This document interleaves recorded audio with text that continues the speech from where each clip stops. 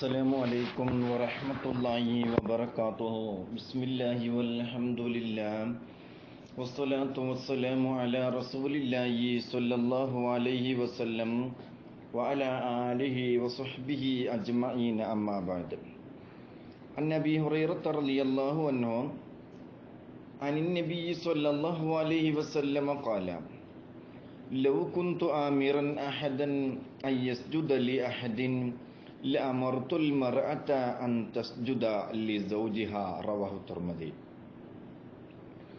പ്രിയപ്പെട്ട റിയാദു സ്വാലിഹീൻ ഹദീസ് ക്ലാസ്സിലെ മൊമ്മിനീങ്ങളെ മൊമ്മിനാത്തുകളെ പ്രിയ പണ്ഡിതന്മാരെ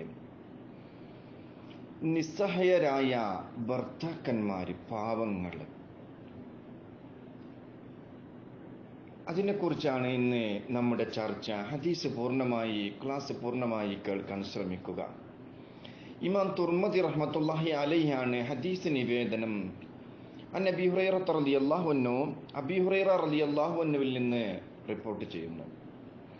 അൻ നബി സല്ലല്ലാഹു അലൈഹി വസല്ലം മുത്തുനബി സല്ലല്ലാഹു അലൈഹി ആ തങ്ങളെ തൊട്ട് ഉദ്ധരിക്കുന്ന ഹദീസ് അവിടുന്ന് പറയുകയാണ്.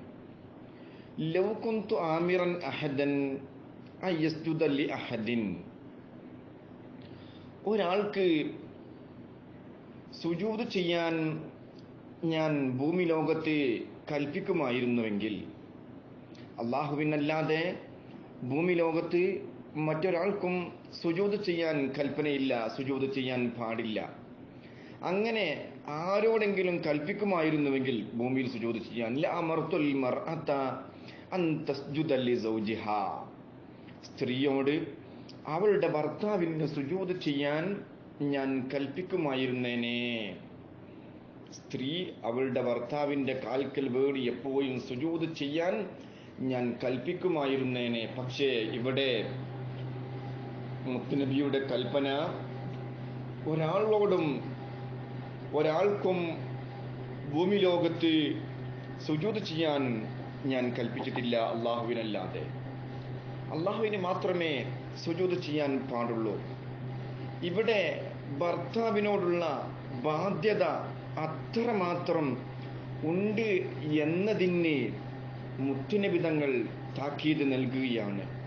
അതിന്റെ ഗൗരവം ഭാര്യയ്ക്ക് ഭർത്താവിനോട് അത്രമാത്രം കടപ്പാടുകൾ ഉണ്ട് എന്നതിന് മുത്തുനബി സല്ലാഹു അലൈ വസല്ലമ തങ്ങൾ നമ്മെ പഠിപ്പിക്കുകയാണ് ഈ ഹദീസിലൂടെ.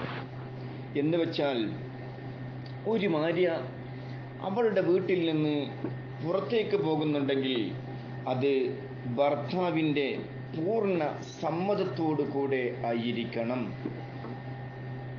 ഭർത്താവിന്റെ സമ്മതമില്ലാതെ ഒരു സ്ത്രീ പുറത്തു പോയിട്ടുണ്ടെങ്കിൽ അവൾ തിരിച്ചു വരുന്നതുവരെ അള്ളാഹുവിന്റെ മലക്കുകൾ അവളെ ശപിച്ചുകൊണ്ടേയിരിക്കുന്നതാണ് ഇന്ന് ഇന്റർനെറ്റ് കാലമാണ്. വാട്സാപ്പിന്റെ കാലമാണ്. ഒരു സ്ത്രീ പോകാൻ വേണ്ടി പുറത്തു പോകാൻ വേണ്ടി അവൾ ഉദ്ദേശിച്ചു. വാട്സാപ്പിൽ ഭർത്താവിന് മെസ്സേജ് അയക്കുന്നു. ഞാൻ ഇന്ന സ്ഥലത്ത് പോകുകയാണ്.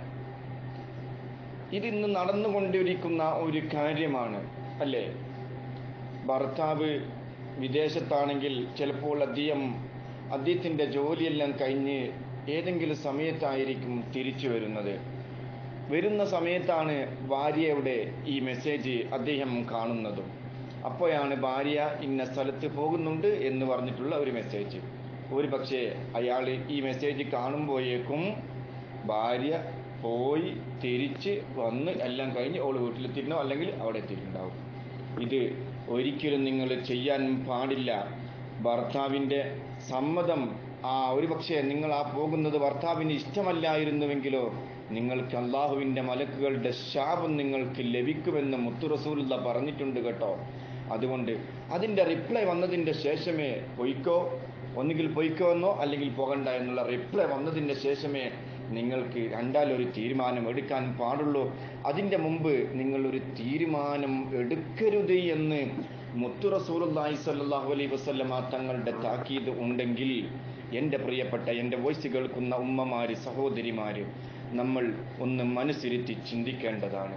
ഇന്ന് ലോകത്ത് നടമാടിക്കൊണ്ടിരിക്കുന്നത് നമ്മൾ കണ്ടുകൊണ്ടിരിക്കുന്നത് ഭാര്യ ഭർത്താക്കന്മാർ തമ്മിലുള്ള പ്രശ്നത്തിനും എല്ലാത്തിനും കാരണം ഭർത്താവിനെ ഭാര്യ പരിഗണിക്കുന്നില്ല. അവന്റെ വാക്കിന് ഒരു വില കൊടുക്കുന്നില്ല. അല്ലെങ്കിൽ അവൻ എന്തെങ്കിലും പറഞ്ഞെങ്കിൽ അത് വളരെ നിസ്സാരമായി തള്ളുകയാണ്. പാവങ്ങളായ ഭർത്താക്കന്മാർ എന്ത് ചെയ്യും? നിങ്ങളിങ്ങനെ ചെയ്താൽ എന്ത് ചെയ്യും? മുത്തനബി തങ്ങൾ പറഞ്ഞില്ലേ ഒരു പെണ്ണ് ഭർത്താവ് ഭർത്താവിന്റെ തൃപ്തിയോടുകൂടെ ഒരു പെണ്ണ് മരണപ്പെട്ടാൽ അവൾ ദഹലത്തിൽ ജന്ന എന്ന് മുത്തുറസൂലുള്ള പറഞ്ഞിട്ടില്ലേ? അവൾ സ്വർഗത്തിൽ കടന്നു എന്ന് റസൂലുള്ളാഹി സ്വല്ലല്ലാഹു അലൈഹി വസല്ലമ തങ്ങൾ പറഞ്ഞിട്ടുണ്ടെങ്കിൽ നമ്മൾ പ്രത്യേകം ശ്രദ്ധിക്കണം ഇൻഷാല്ല ഭർത്താവിന്റെ ബാധ്യത അടുത്ത ക്ലാസ്സിൽ വരുന്നുണ്ട്. അടുത്ത ഹദീസിൽ വരുന്നുണ്ട്. നമുക്കതിനെക്കുറിച്ച് അപ്പോൾ ചർച്ച ചെയ്യാം. ഇപ്പോൾ ഭാര്യ ചെയ്യേണ്ട ബാധ്യതകളാണ്. എത്രത്തോളം ഉത്തരസുള്ള പറയുന്ന ഭാര്യയ്ക്ക് ഭർത്താവിനോടുള്ള ബാധ്യതകൾ ഭർത്താവിന്റെ നിന്റെ ഭർത്താവിന്റെ മൂക്കിൽ നിന്ന് ഒലിച്ചിറങ്ങുന്ന ദുർഗന്ധം പിടിച്ച കട്ട പിടിച്ച മൂക്കട്ട ഭാര്യയായ നീ നിന്റെ നാക്കിന്റെ തെല്ലുകൊണ്ട് അത് മുഴുവനും നക്കി തുടച്ച് വൃത്തിയാക്കി കൊടുത്താൽ പോലും ഭർത്താവിനോടുള്ള ബാധ്യതകൾ തീരൂല പെണ്ണേ എന്ന് മുത്തുറസൂലുള്ള പറഞ്ഞിട്ടുണ്ടെങ്കിൽ നമ്മൾ ഓർക്കണം. ചെറിയ എന്തെങ്കിലും അച്ച അല്ലറ ചില്ലറ പ്രശ്നത്തിന്റെ പേരിൽ ഭർത്താക്കന്മാരോട് പിണങ്ങി അല്ലെങ്കിൽ അപ്പുറത്ത് മാറിക്കിടന്ന് അല്ലെങ്കിൽ മുണ്ടാതിരുന്ന് നിങ്ങൾ ചെയ്താൽ മുത്തുറസൂലുള്ള പറഞ്ഞില്ലേ നിങ്ങൾക്ക് അള്ളാഹുവിന്റെ ശാപമുണ്ടാകും കേട്ടോ. വേറെ ഒരു അജീസിൽ മുത്തുറസൂലുള്ള പറഞ്ഞിട്ടുണ്ട് ഭർത്താവ് അവന്റെ ആവശ്യത്തിന് വേണ്ടി ഒരു പെണ്ണിനെ വിളിച്ചു. അവൾ പോയിട്ടില്ലെങ്കിൽ ലാനത്തുകൾ മലായിക്കത്തുവത്ത തൊസ്ബിഹ. നേരം വെളുക്കുന്നത് വരെ അള്ളാഹുവിന്റെ മലക്കുകൾ അവളെ ശപിച്ചുകൊണ്ടിരിക്കുമെന്ന് സ്വല്ലല്ലാഹു അലൈഹി വസല്ലം തങ്ങൾ പറഞ്ഞിട്ടുണ്ടെങ്കിൽ ഇവക കാര്യങ്ങളൊക്കെ നമ്മൾ ശ്രദ്ധിക്കേണ്ടതാണ് ജീവിതത്തിൽ പാലിക്കേണ്ടതാണ്. എങ്കിൽ മാത്രമേ നമ്മൾ ഉത്തമ വനിതയാകുകയുള്ളൂ. അല്ലാതെ കുറേ നിസ്കരിച്ചത് കൊണ്ടും നോമ്പെടുത്തത് കൊണ്ടൊന്നും നമ്മൾ ഉത്തമ വനിതയാകുകയില്ല കേട്ടോ. ബഹുമാനപ്പെട്ട ഫാത്തിമ ബീബി റളിയല്ലാഹു എന്ന മുത്തുറസൂല്ലായി സല്ലാഹു അലൈ വസല്ലമ തങ്ങളുടെ അടുക്കലേക്ക് വരികയാണ്. മുത്തുനബിയോട് പറയുന്ന മുത്തുനബിയെ ഞാനും അലിയും തമ്മിൽ ചില അശവിശ വർത്താനങ്ങൾ ഉണ്ടായിട്ടുണ്ട് നബിയെ. മുത്തുനബി തങ്ങൾ ഇത് കേട്ടപാട് മുത്തു റസൂലുള്ളാഹി സ്വല്ലല്ലാഹു അലൈഹി വസല്ലമ തങ്ങൾ ഫാത്തിമ ബീവിയോട് പറഞ്ഞു ഫാത്തിമ നിന്റെ ഭർത്താവിന്റെ തൃപ്പതിയില്ലാതെ നീ ഇപ്പോൾ മരണപ്പെട്ടിട്ടുണ്ടെങ്കിൽ നിന്റെ മയ്യത്ത് ഞാൻ നിസ്കരിക്കുകയില്ല ഫാത്തിമ.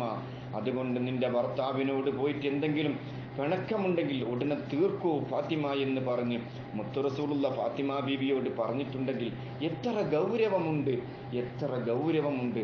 നമ്മൾ ഓർക്കണം ജീവിതത്തിൽ മാറ്റങ്ങൾ ഉണ്ടാക്കണം പരിവർത്തനങ്ങൾ ഉണ്ടാക്കണം നമ്മുടെ കുടുംബജീവിതം ദാമ്പത്യ ജീവിതം മുത്തുറസൂലുള്ള പറഞ്ഞതുപോലെ ജീവിക്കാൻ നമുക്ക് നാം ശ്രമിക്കണം.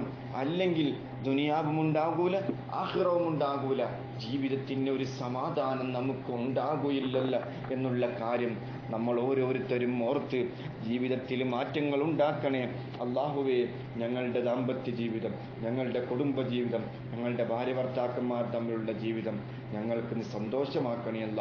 നല്ല സ്നേഹത്തോടുകൂടെ അള്ളാഹുവേ നിന്റെ ഹബീബ് ജീവിച്ചതുപോലെ ഹദീജ ഉമ്മയും ഹബീബ് റസൂലുള്ളയും ജീവിച്ചതുപോലെ ഫാത്തിമ ബീബിയും അലി റദിള്ളാഹുവിനും ജീവിച്ചതുപോലെ അങ്ങനെ മുൻകഴിഞ്ഞു പോയ മഹാന്മാരൊക്കെ ജീവിച്ചതുപോലെ ജീവിതം നയിക്കാൻ ഞങ്ങൾക്ക് തൗഫീക്ക് നൽകണേ അല്ലാ. ആമീൻ. വാഹിർ ദഅവാനാനിൽ അൽഹംദുലില്ലാഹി റബ്ബിൽ ആലമീൻ. അസ്സലാമു അലൈക്കും വറഹ്മത്തുള്ളാഹി വബറകാതുഹു.